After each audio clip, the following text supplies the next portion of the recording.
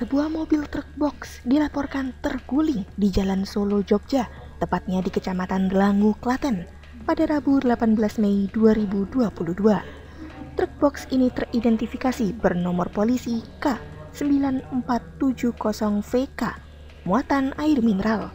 Mobil ini bahkan terguling tepat di tengah jalan dan memblokir sebagian jalan dari arah Solo menuju Klaten.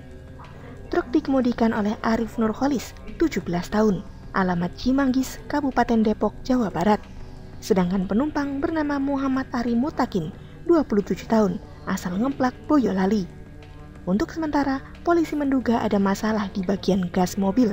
Akibatnya, truk hanya bisa melaju tersendat-sendat meski pedal gas diaktifkan seperti biasa. Sopir dan penumpang dipastikan selamat dan hanya alami luka lecet. Keduanya pun ikut membantu polisi mengevakuasi truk dari badan jalan hingga kurang lebih satu jam lamanya. Total kerugian ditaksir mencapai 3 juta rupiah akibat kerusakan pada kendaraan truk. Terima kasih sudah nonton. Jangan lupa like, subscribe, dan share ya.